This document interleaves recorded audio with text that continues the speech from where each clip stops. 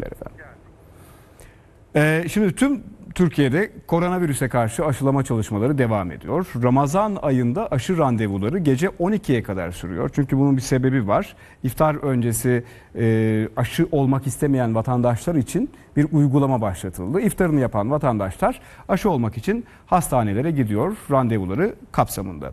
Şimdi iftar sonrası aşı mesaisinin sürdüğü noktalardan birine gideceğiz. Biliyorsunuz her akşam bir ilimize gidiyoruz. Bugün sıra Samsun'da. Samsun'a çevireceğiz kameralarımızı. Muhabir arkadaşım Seyfi Karadeniz bizi bekliyor. Kıymetli bir konuğu da var zannediyorum. Hemen sözü Seyfi'ye bırakacağım.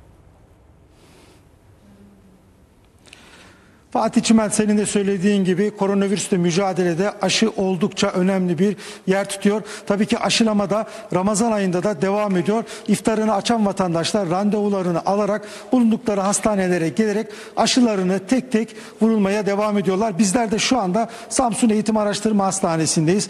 Burada da belirtilen aşı odalarında yerlerinde aşılar gelen randevularını alan vatandaşlara tek tek vuruluyor. Şu anda da e, ra- randevusunu alan bir vatandaşımız için aşı hazırlanıyor. Bilindiği üzere son olarak Sa- Sağlık Bakanı Fahrettin Koca da açıklamıştı. Özellikle 55 yaş üze- üzerinde üzerine gelmesiyle beraber hastanelerde de yoğunluk arttı.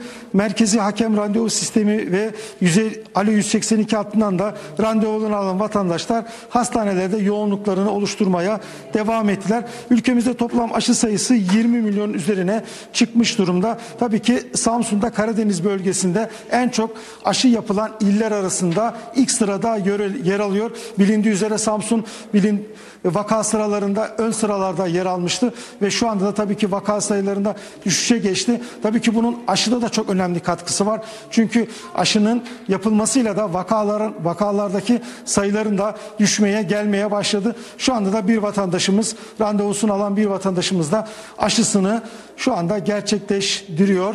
Canlı yayında da ekrana getiriyoruz.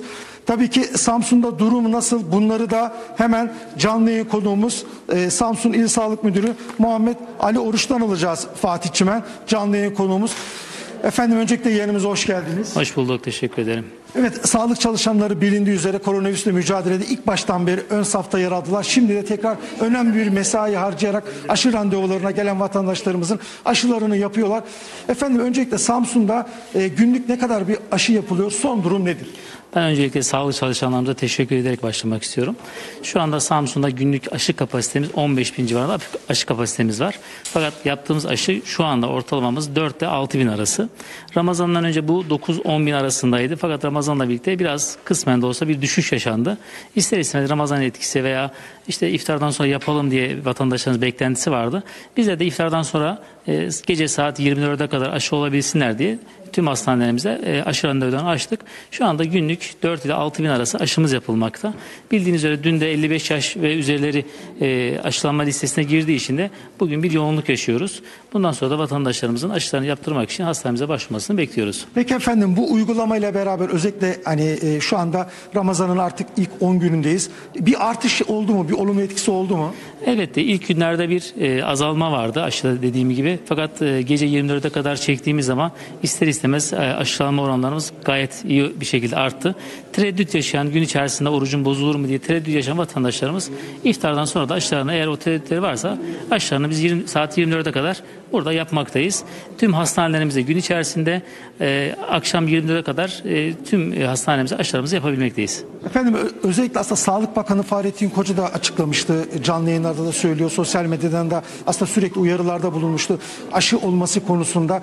Ee, özellikle tereddüt yaşayanlar için de buradan canlı yayına tekrar neler söylemek istersiniz? Hala aşı yaptırmayan insanlarımız var tabii ki ülkemizde. Şunu söyleyebilirim. Sağlık çalışanlarımızdan bahsedeyim ben. Şu anda sağlık çalışanlarımız yaklaşık %86'sı Samsun'dakiler aşılandı.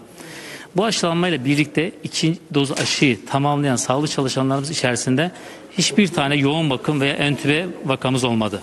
Bu da çok büyük bir başarı ve aşının e, kanıtlanmış etkisidir diyebiliriz. O yüzden buradan tüm vatandaşlarımıza tekrardan sesleniyorum. Lütfen aşı vaktiniz geldiyse eğer, sıranız geldiyse muhakkak randevunuzu MHRS'e ya da Alo 182'den e, randevunuzu alın ve aşınızı hızlı bir şekilde yaptırın. Koronavirüsteki mücadelemizin en önemli silahı şu anda aşı. Aşılanmamız arttıkça e, koronavirüse mücadeleyi tam anlamıyla daha iyi e, başarmış olacağız.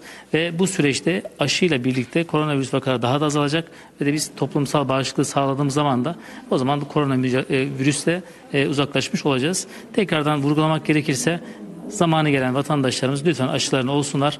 Bizler 24 saat e, sağlık çalışanları olarak onları bekliyoruz ve aşılamalarını istiyoruz. Efendim verdiğiniz bilgiler için, yayına katkınız için çok teşekkür ediyorum. Ben teşekkür ederim. İyi yayınlar dilerim. Sağ olun. Teşekkürler.